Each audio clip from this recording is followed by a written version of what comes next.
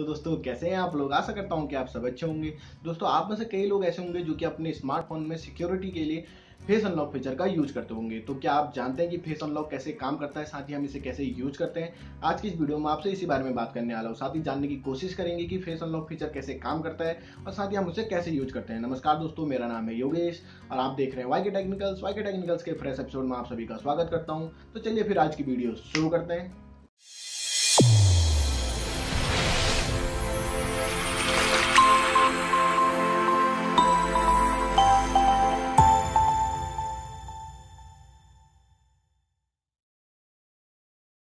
दोस्तों, अगर face unlock technology के बारे में आपसे बात करूँ तो टेक्नोलॉजी कोई नई नहीं है, काफ़ी पुरानी टेक्नोलॉजी है, लेकिन हाँ हाल ही में हमें इसके बारे में काफ़ी ज़्यादा चर्चा ही देखने को मिली है।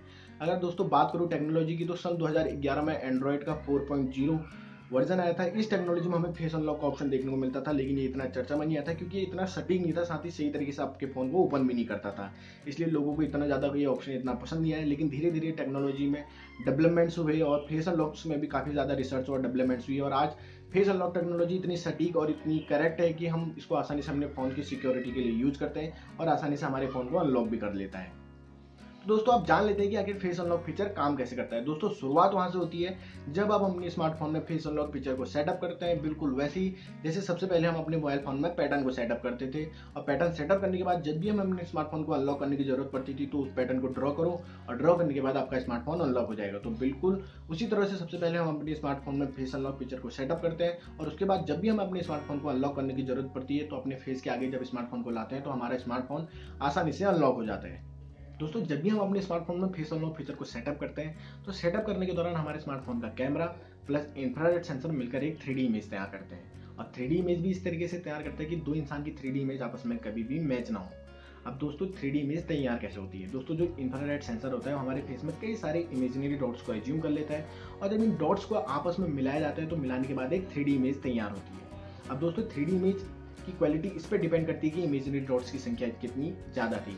दोस्तों, जितनी ज़्यादा इमेजनरी डॉट्स की संख्या होगी थ्री इमेज उतनी ही अच्छी होगी और इमेजिनरी डॉट्स की संख्या जितनी कम होगी थ्री इमेज की क्वालिटी उतनी ही घटिया होगी। अब दोस्तों फॉर एग्ज़ाम्पल के लिए मान लीजिए कि मेरा एक इमेजनरी डॉट यहाँ पर है और एक इमेजिनरी डॉट यहाँ पर है और इनकी बीच की डिस्टेंस एक है जो कि उसने अपनी मेमोरी में सेव कर लिया है। अब दोस्तों, हर इंसान की, दोनों है एब्रोज के बीच की डिस्टेंस अलग अलग होगी, क्योंकि हर किसी का फेस अलग अलग होता है। उनके आइज़ के बीच की डिस्टेंस अलग अलग होगी और उनके एयर्स के बीच की डिस्टेंस होगी। फेस के किसी भी दो पॉइंट के बीच की डिस्टेंस अलग होगी, क्योंकि हर किसी का फेस अलग अलग टाइप से डिज़ाइन होता है। तो इस तरीके से हर किसी का थ्री मॉडल भी अलग अलग बनेगा और उस तरीके से वो अपनी मेमोरी में जाके सेव कर लेगा। अब दोस्तों उसके बाद आती है अनलॉक होने की बात। दोस्तों, जब भी हम अपने स्मार्टफ़ोन को अनलॉक करना होता है तो हमें अपने स्मार्टफ़ोन के आगे अपना फेस लाना होता है। और उसके बाद हमारा कैमरा और हमारा इंफ्रारेड सेंसर इसी प्रोसेस को दोबारा से दोहराता है और एक थ्री इमेज को तैयार करता है। तो वो थ्री इमेज जो हमारी मेमोरी में सेव है प्लस इस थ्री इमेज को आपस में मिलाता है। जब ये दोनों ही आपस में मैच करती है तो हमारा स्मार्टफ़ोन अनलॉक हो जाता है। अगर नहीं करती है तो हमारा स्मार्टफ़ोन अनलॉक नहीं होता है।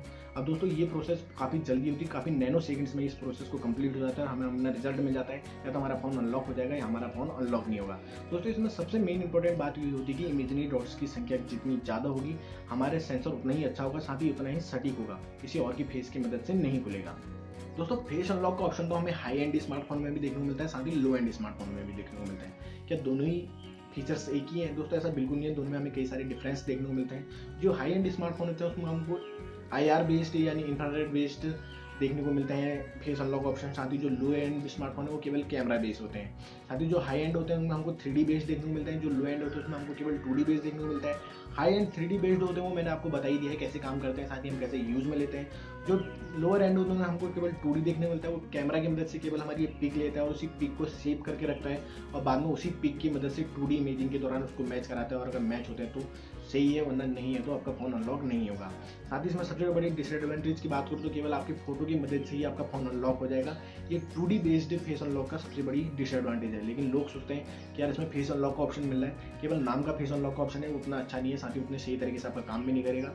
साथ ही लो लाइट कंडीशन में तो आपका फेस देखेगा भी नहीं और आपका मोबाइल ऑन ही नहीं होगा।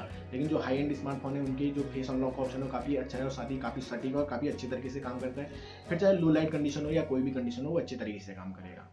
दोस्तों, अभी तक तो हमने बात कर ली कि फेस अनलॉक फीचर क्या है, साथ ही कैसे यूज़ करते हैं हम इसे और कैसे काम में लेते हैं। दोस्तों अब बात कर लेते हैं क्या फेस अनलॉक फीचर इतना सिक्योर है दोस्तों फेस अनलॉक फीचर उतना सिक्योर नहीं है जितना कि पैटर्न पिन या पासवर्ड या फिंगरप्रिंट सेंसर इसी तरीके से कंपनियाँ भी आपके इसके बैकअप में ऑप्शन देती है पैटर्न लगाने का फिंगरप्रिंट सेंसर लगाने का, साथ ही पासवर्ड लगाने का, क्योंकि फेस अनलॉक फीचर इतना सिक्योर नहीं है, साथ ही इतनी अच्छी तरीके से काम भी नहीं करता अभी तक। और अगर टू बेस्ड फेस अनलॉक की बात करो तो उससे तो आप उम्मीद ही छोड़ दीजिए, वो तो लो लाइट कंडीशन में ओपन ही नहीं होता है। दोस्तों, इसी के साथ मैं आशा करता हूँ कि आप समझ गए होंगे कि फेस अनलॉक ऑप्शन क्या है, साथ ही हम इसको कैसे यूज़ करते हैं और साथ ही ये कैसे काम करता है। इसके साथ आशा करता हूँ कि आज की मेरी वीडियो आपको पसंद आई होगी। अगर पसंद आई है तो प्लीज़ लाइक कीजिए। अगर आपका कोई भी सवाल या सुझाव हो तो नीचे कमेंट बॉक्स में लिखना ना भूलिए। इसके साथ वीडियो को शेयर कर लीजिए। दोस्तों, अगर अभी तक आपने हमारे चैनल वाके टेक्निकल्स को सब्सक्राइब नहीं किया तो प्लीज़ नीचे जाके चैनल को भी सब्सक्राइब कर लीजिए। साथ में बेल के आइकन को प्रेस कर लीजिए, जिससे आपको हमारी नई लेटेस्ट वीडियो का नोटिफिकेशन मिल जाएगा। और ये सब्सक्रिप्शन बिल्कुल बिल्कुल फ्री है। वीडियो देखने के लिए आपका बहुत बहुत धन्यवाद। और आप सभी जानते ही हैं I really appreciate your time